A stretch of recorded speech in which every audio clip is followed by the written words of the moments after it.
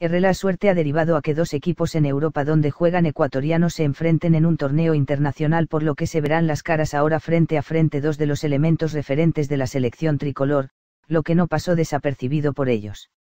Es que tras el sorteo de la Europa League se determinó el duelo del Rostov de Rusia, equipo donde milita el mediocampista Cristian Novoa, ante el Manchester United, club donde juega Antonio Valencia, por lo que estos elementos, grandes amigos en la selección ecuatoriana, se vean las caras ahora como rivales.